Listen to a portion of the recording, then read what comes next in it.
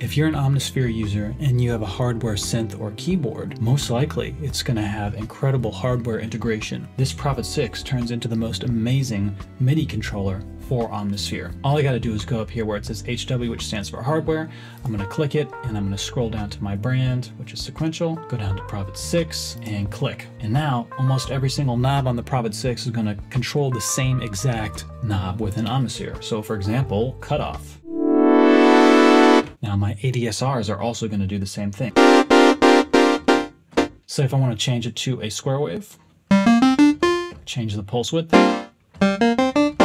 turn on some effects, maybe I'll do some chorus, some delay. You can even turn on the arpeggiator.